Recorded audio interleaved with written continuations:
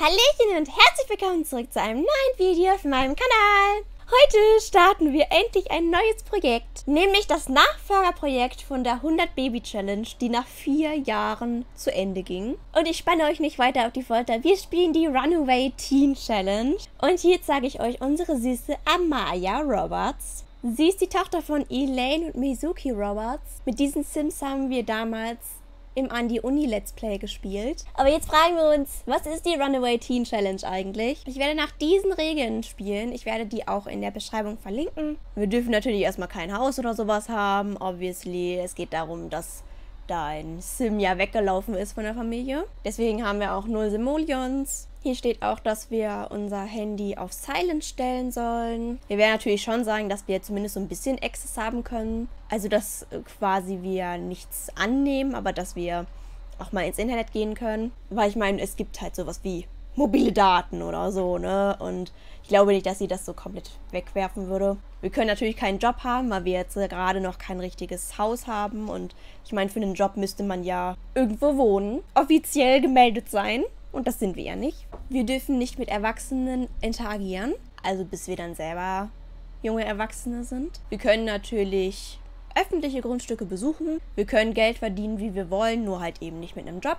Und wir gehen natürlich nicht zur Schule, weil wenn wir schon weggelaufen sind, dann schwierig, schwierig. Und hier steht noch, dass man jedes Mal, wenn man reist, dass man da halt Geld abziehen soll. Ich würde das aber halt innerhalb der Städte machen und nicht innerhalb von derselben Stadt so, you know. Wenn ich überhaupt daran denke, weil mein Gehirn ist manchmal ein bisschen wild. aber ja, das sind tatsächlich auch schon alle Regeln. Wir werden uns daran halten. Meine Storyline ist, sie kennt äh, tatsächlich nur ihre Familie und diesen mysteriösen Jeremy Johnson. Die beiden hassen sich sehr, aber ähm, die haben eine romantische Ebene. Ich denke, dass es sehr sexuell ist und nicht unbedingt romantisch tatsächlich. Und trotz dessen, dass sie sich eigentlich gar nicht abkönnen, hatten die halt immer mal wieder was miteinander. Und Mizuki und Elaine fanden das natürlich gar nicht gut. Sie waren vielleicht auch der Meinung, dass Jeremy kein guter Einfluss ist. Und deswegen ist Amaya weggelaufen, weil sie natürlich nicht einverstanden damit ist. Und ja, es tut mir leid, dass ich so viel rede. Wir wollen natürlich heute auch noch ein bisschen spielen. Wir sind hier in Windenburg, weil ich dachte, ich fand das am realistischsten, dass sie erstmal reist und schaut, wo kann man vielleicht noch halbwegs gut unterkommen. Hier sind zumindest dann auch Bänke und so. Ja, wir versuchen natürlich erstmal irgendwie Geld aufzutreiben, weil wir möchten natürlich zumindest ein Zelt oder so. Ich überlege, wie machen wir das denn? Weil wir haben natürlich dieses Zelt, also das finde ich natürlich an sich schon richtig cool. Aber wir haben ja auch dieses hier für 500, dieses coole Zelt, wo man dann sowas drunter stellen kann. Aber ich glaube, das wäre was für ein bisschen später. Ich glaube, das Zelt ist erstmal schlauer. Ja, jetzt ist aber die Frage, wie kommen wir an Geld? Ich habe keine Ahnung, was es hier so gibt. Wir dürfen mit Erwachsenen nichts zu tun haben. Diesen Partner gibt es natürlich auch quasi, damit es eventuell so ein bisschen Struggle gibt. Ich stelle erstmal das Handy auf lautlos. Oh, das ist sogar ein Teenager. Lol. Ich wollte gerade sagen, sie darf mit ihr gar nicht reden, aber I didn't know. Und wir müssen noch äh, die Schule. Wir dürfen nicht zur Schule gehen, aber wir können nicht einfach abbrechen, ne? Dann müssen wir erst äh, zur Schule laufen und dann da abbrechen, weil I guess das geht so einfach nicht. Gut, dann brechen wir halt morgen die Schule ab und sie muss sich umziehen. Sie ist, wie ihr seht, ein äh, relativ stylischer Sim. Deswegen wird das äh, natürlich ein bisschen wild. Sie hat natürlich jetzt einfach ihre Kleidung erstmal so zusammengepackt. Aber sie wird natürlich auch schnell merken, mit der Kleidung ist es vielleicht nicht so cool, auf der Straße zu leben. Noch ist sie ja sehr happy. Aber wie lange wird das so bleiben? Begrüßungskomitee, ich glaube nicht. Man kann da nur Münzen einwerfen. Es wäre cool, wenn man da so das Geld einfach klauen könnte. Okay, hier kann man angeln. I guess, das könnte eine Option sein. For now. Ich meine, ich weiß nicht, ob sie das jetzt unbedingt tun würde. Ich meine, hier ist auch jemand, der ein Bild malt, aber ich finde, das ist auch immer ein bisschen cheaty, wenn man einfach so Gemälde von fremden Leuten verkauft. Boah, hier ist ein Klo. Geil. Das finden wir schon mal sehr gut. Aber sie denkt sich halt so, ja, hier in der Stadt chillen ist natürlich äh, eine Möglichkeit. Ist ja kein Problem, hier zu leben, denkt sie sich so. Warum sind ihre Füße im Wasser? There is no water.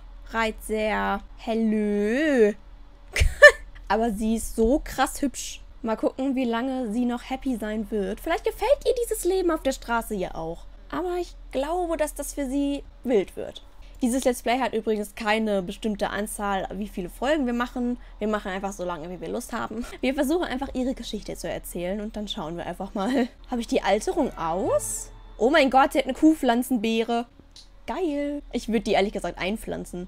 Wir wollen alle, wir machen mal auf normal und gucken dann mal. Wann hat sie dann Geburtstag? Zweieinhalb Wochen. Vielleicht stellen wir es doch auf lang. 84 Tage? Okay. Also das ist dann auch wieder sehr lang. Wir machen es einfach, wenn wir uns danach fühlen. Wir können es ja erstmal auf lang lassen und dann werden wir vielleicht irgendwann das umstellen oder so. Weil ich will jetzt auch nicht in den Einstellungen von MCC rumspielen, weil das ja dann auch in den anderen Spielständen das Ganze verändert und das möchte ich halt nicht. Sie hat einen Fisch. Sie ist so gut. Ein Diskusfisch. Aber wir werden auf jeden Fall diese Kuhpflanze einpflanzen. Ich habe richtig Bock auf sie. Das ist unser Only Friend einfach. Ist halt Herbst, ist halt ein bisschen scheiße vielleicht. Aber egal. 18 Simoleons, hör mal. Ist schon fast gut. Fast reich sind wir. Naja, noch kann sie sich das ja leisten. Jetzt friert sie, eben war noch warm. Dann ziehen wir jetzt vielleicht das Dicke an. Wow, you are so pretty, girl. Wenn ihr wissen wollt, wie sonst so ihre Outfits und so sind, wir haben ein Video für ihr Umstyling gemacht. Gemeinsam, wo sie noch bei ihren Eltern lebte. Weil da war mir schon bewusst, dass ich mit denen spielen möchte, aber ich wusste noch nicht was. Und jetzt sind wir hier in der Runaway Teen Challenge. Ich hoffe auch, euch gefällt das Logo. Ich habe mir sehr viel Mühe dafür gegeben. Toll, jetzt steht sie hier im Regen. Sie denkt sich so, ah, vielleicht ist das doch nicht so das Leben, was ich mir gewünscht habe. Hm. Es ist der erste Tag und sie ist natürlich erstmal in Ordnung damit. Ich denke, unser langfristiges Ziel wird sein, dass wir irgendwann wieder Kontakt zu unseren Eltern aufnehmen werden. Aber vielleicht so, dass sie dann auch zeigen kann, ja, ich bin weggelaufen, das war eine scheiß Situation, aber guck mal, was ich alles erreicht habe. Ganz alleine, ohne eure Hilfe. Und ja, vielleicht finden die dann wieder zueinander. I don't know. Ich meine, so ein bisschen müssen wir ja auch äh, schauen, was das Ganze hier bringt. So, sie pflanzt jetzt erstmal die Kuhpflanze ein und wir verkaufen mal diesen Fisch. Ich glaube, hier waren irgendwo auch Grills. Deswegen können wir dann vielleicht auch was zu essen machen. Ja, okay, die haben die Gemälde hier eh nicht beendet, aber wahrscheinlich auch, weil es regnet. Wir können ja leider nirgendwo wühlen. Süß. Ich hatte schon ewig lang keine Kuhpflanze mehr, deswegen habe ich da richtig Bock drauf. Aber noch kriegt die keinen Namen. So, war das Toilettenhäuschen? Da unten. Auf geht's, ab geht's. Hier muss es doch irgendwo Grills oder so geben. Kann nicht nichts sein, oder? Irgendwas will ich. Guck mal, da ist unsere Schulleiterin. Kann ich nicht einfach jetzt sagen, so moin, ich möchte nicht mehr zur Schule kommen, tschüss. Obwohl, soll sie, soll sie sich offiziell abmelden oder soll sie einfach nicht mehr hingehen? Ich meine, wenn sie rausgeschmissen wird, ist ja auch wild, oder?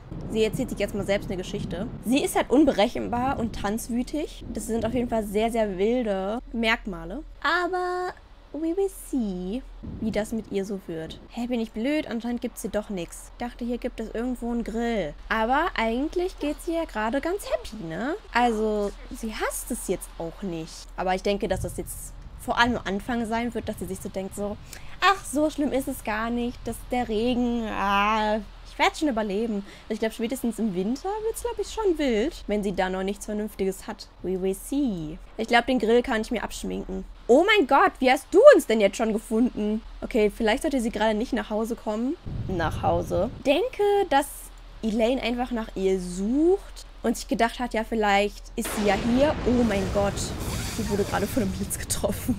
Aber dass sie halt trotzdem nicht genau weiß, wo sie ist, aber sie hat die Vermutung, hier in Windenburg könnte sie sein. Elaine und Mizuki wohnen in Willow Creek. Aber ja, wir gehen natürlich nicht auf sie zu. Im ersten Part ist immer noch viel so Gerede und noch nicht so viel Getue. Aber das wird sich natürlich dann auch ändern. Oh, guck mal, die Sonne kommt raus. Wie schön. Und sie verpisst sich jetzt auch. Ist vielleicht auch besser. Da ist ein Café, da ist ein Nachtclub, da ist eine Bibliothek. Im Nachtclub können wir die Bar halt nehmen. Da können wir uns wenigstens gratis Chips nehmen. Oh mein Gott, ist das nicht sogar die Bar, wo die beiden damals ihren ersten Kuss hatten?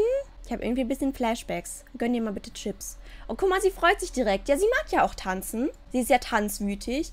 Ich glaube, deswegen geht sie auch äh, gerne hierhin zu dem Nachtclub, ne? Aber der sieht natürlich ein bisschen lame aus. Wenn ihr Lust habt, den zu renovieren, ladet das doch gerne in die Galerie hoch, dann können wir den ersetzen. So, und dann soll sie einfach mal ein bisschen dancen gehen, weil sie liebt es ja.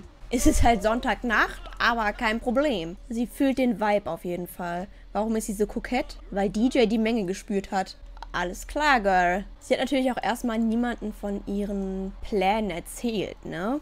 Aber ja, ich denke, dass sie morgen dann zur Schule geht erstmal und dann da halt dann ja die Schule abbricht, weil sie dann sich denkt, ja, warum soll ich überhaupt noch hier sein? So, wenn ich jetzt schon versuche, mein eigenes Leben auf die Reihe zu kriegen, so, dann muss ich auch nicht mehr zur Schule gehen, so. Nein, du darfst nicht mit irgendwelchen Leuten reden. Zumindest keine Erwachsenen. Sie kann ja ruhig die ganze Nacht hier durchdancen, ne? Also... Oh mein Gott, was macht sie denn hier? Mizuki ist einfach hier. Ähm, wie wär's, wenn wir uns hier oben mal ein bisschen verstecken? Weil wir sind scared, dass sie uns findet. Sie hat uns einfach nicht gesehen. Ja, deswegen äh, verschwinden wir ganz schnell. Natürlich suchen ihre Eltern die ganze Zeit nach ihr so, ne? Und Mizuki ist ja auch klar, dass sie ein Partygirl ist. So, sie redet jetzt erstmal ein bisschen mit sich selbst, so weil ähm, sie, sie möchte sich jetzt natürlich erstmal selbst beschwichtigen, dass das hier richtig ist und gut ist. Und dass sie auf jeden Fall hier auch die richtige Entscheidung getroffen hat. Und deswegen, ja, wird sie jetzt nicht schwach und geht natürlich nicht zurück mit ihrer Mom. Aber die chillt hier halt immer noch, ne? This is a problem. Ja, vielleicht düst sie auch einfach ganz schnell ab. Weil sie merkt halt, ihre Mutter geht halt nicht. So, gehen wir jetzt nach Hause. So, und dann legt sie sich einfach hier auf die Bank. Ein Disco-Nickerchen. Wir haben an Tag 1 18 Simoleons gemacht, ey. Uh, wir sind einfach reich. Was mit ihm denn, Alter? Huh? What happened? Wow, Disco-Nickerchen bringt ja übel viel. Es ist 2 Uhr nachts und sie so eigentlich ganz happy gerade, ne? Ich wünschte, hier wäre irgendwo ein Grill. Vielleicht übersehe ich ja auch einfach nur was. Hallo. Oh mein Gott. Das hier ist fertig. 246. Ich habe zwar vorhin noch gesagt, das ist ja voll cheaten, aber 246 geht noch.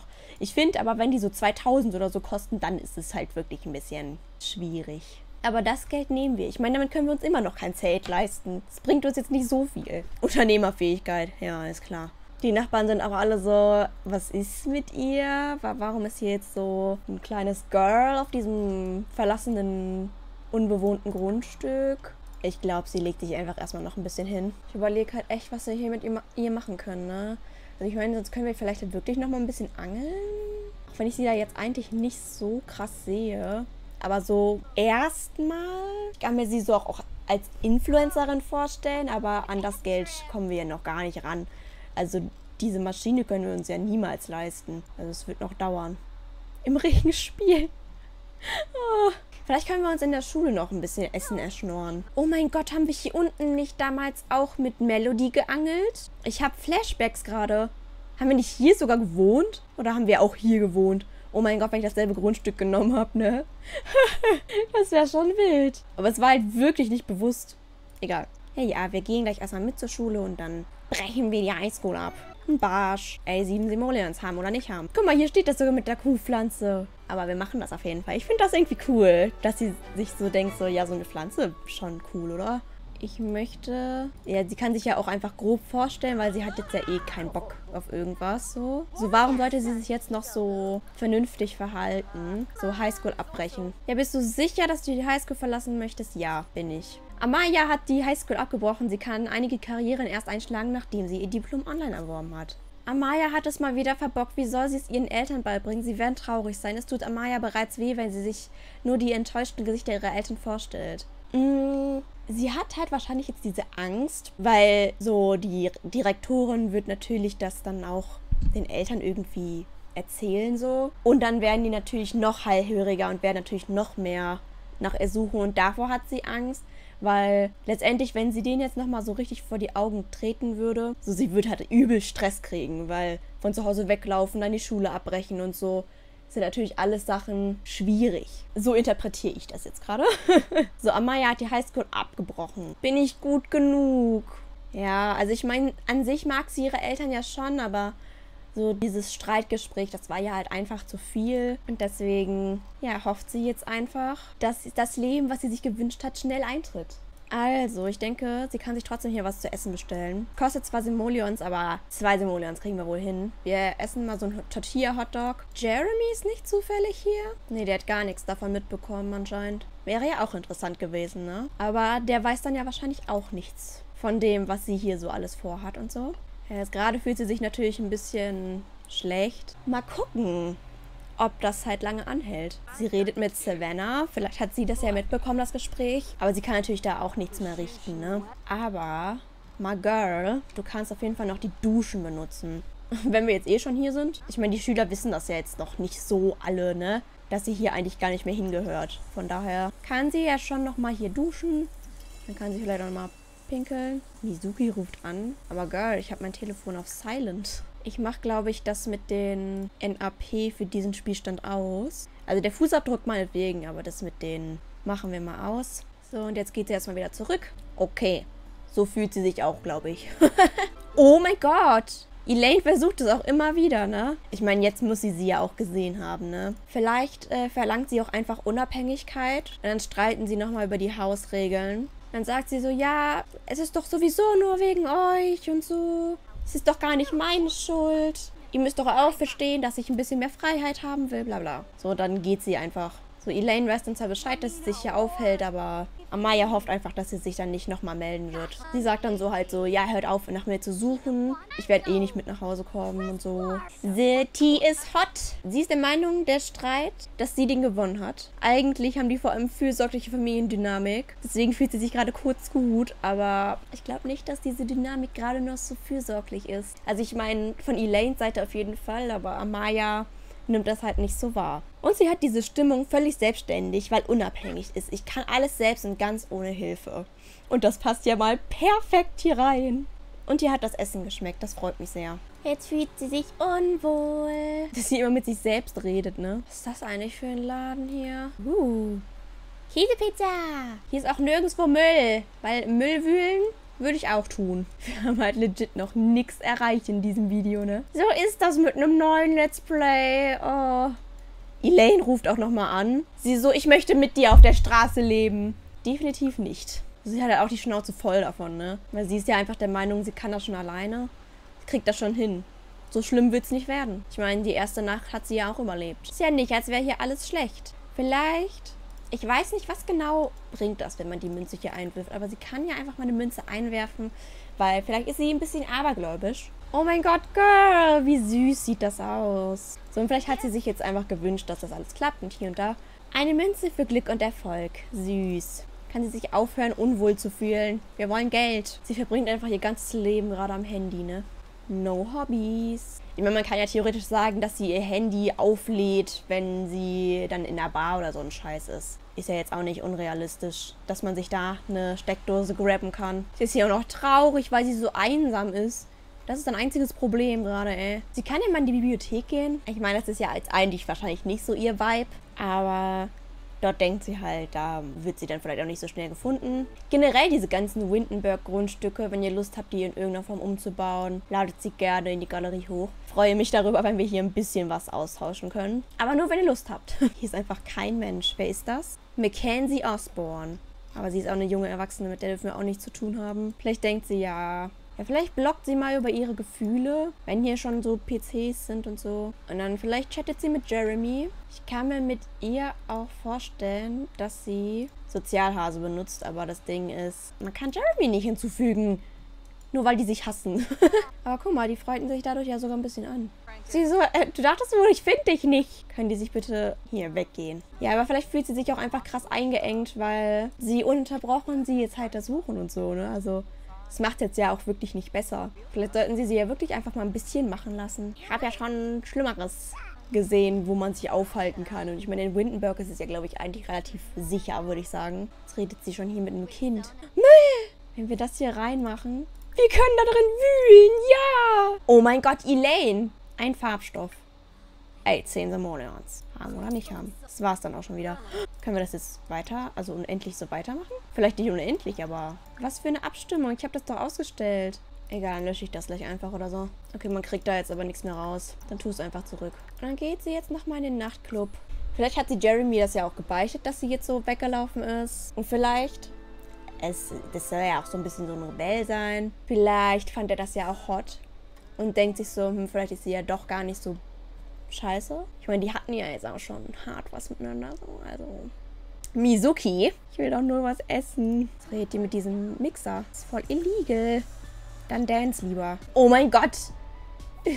Mizuki. Diese Eltern sind echt aufdringlich. Ist alle zwei Sekunden, egal wo sie ist, überall tauchen sie auf. Hör auf mit Erwachsenen zu plaudern. Teenager, das wäre mal was. Uh, Luna Villarreal. Hallo. Freunde? Ihr könnt ja mal ein bisschen miteinander reden. Wir finden aber, sie ist unreif. Egal, vielleicht ist das ja nur der erste Eindruck und es ist alles besser, als wir denken. Achso, die freuen sich jetzt alle, weil hier ein Star ist. Super. Ja, aber sie muss ja auch nicht direkt was erzählen hier, von wegen, dass sie hier auf der Straße wohnt. hier über Eltern beschweren, das finde ich, ist sehr passend. Hier, Luna können wir jetzt hinzufügen. Cool. Den können wir über eine Reise posten. Müde ins Bett zu fallen. Du hast kein Bett, Girl. Behaupten, dass Luna ein Alien ist? Ich glaube nicht. Die ist ja bei Die Idole. Kann man da einfach für Einladung bewerben. Hey Amaya, ich hörte, du bist an einem Beitritt in die Gruppe Die Idole interessiert. Komm und häng mit uns ab. Wenn du einen guten Eindruck hinterlässt, kannst du dich dafür bewerben, der Gruppe beizutreten. Die wollen schwimmen gehen. Ja, let's go. Ich denke, sie macht das jetzt einfach, damit sie so ein bisschen Anschluss behält. Weil sie ist ja trotzdem so stylisches Girl und so. Und ich denke, dass es ihr auch wichtig ist. So, und dann hi. Okay, wir haben uns mit allen schon so kurz unterhalten anscheinend. Also wir haben auf jeden Fall überall schon eine Bar. Das ist ja schon mal nice. Kann ja mal mit jedem hier ein bisschen quatschen. Er mag keine Kinder. Okay. Was haben die hier vor? Probieren anscheinend irgendwelche Kleidung an. Vielleicht sollte sie dann auch ihre Schwimmkleidung anziehen, wenn alle in Schwimmkleidung sind. Warum kann sie nicht mit denen reden? Darf man da nicht rein? Ah, das hier ist so ein Gruppendings, ne? Das ist richtig un Richtig asozial ist das. So, er kommt immer, immer wieder raus wenigstens, aber das war es halt auch irgendwie. Ja, vielleicht fragen wir nochmal einfach, ob wir beitreten dürfen. Ich glaube, das findet er nicht so gut. Du passt nicht zu uns, schade. Ja, dann geh einfach nach Hause. Obwohl nach Hause ein schwieriges Wort ist. Zeit für Nickerchen. aber Disco-Nickerchen bringt echt krass viel. Jetzt hat sie schon wieder Hunger. Ich weiß halt auch nicht, ob man hier irgendwo Sachen finden kann. Können ja mal dahin gehen. Sie isst auf jeden Fall erstmal was. Das ist sehr wichtig. Und dann gucken wir, vielleicht spawnt hier ja irgendwas. I don't know. Jetzt solltest du aber nicht mehr in deiner Schwimmkleidung rumlaufen. Sie hasst öffentliche Toiletten anscheinend. Und sie mag Alternative auch nicht. Es ist nicht ihr Tag, würde ich sagen. Oh, aber jetzt fühlt sie sich besser. Ich meine, so ein öffentliches Klo ist immer noch besser als ein Busch, oder? Ein Frosch! Was ist das denn hier? Das ist aber auch irgendwie schon alles, was ich finde. Super. Ein Frosch haben wir. Wow, der Frosch bringt 10 Simoleons. Crazy. Bin einfach reich. Hier sind noch Sträucher, aber die sind alle unbewachsen. Das bringt mir alles gar nichts. Wenn ihr eine Idee habt, wie wir irgendwie Geld verdienen können, dann schreibt es mir bitte. Ich hätte schon gerne mein Zelt. dann sieht es zumindest schon ein bisschen wohnlicher aus. Aber ja, ich denke, dass wir dann hier an der Stelle auch schon den ersten Part beenden. Ich weiß, es ist nicht so viel passiert. Aber das hier wird auch halt ein Storytelling-Let's Play, I guess. Generell bei allen Ideen, was auch immer, meldet euch zu Wort. Kann alles hier mit einfließen. Und ich hoffe, es hat euch gefallen und wir sehen uns dann beim nächsten Mal wieder. Bis dahin und tschüss!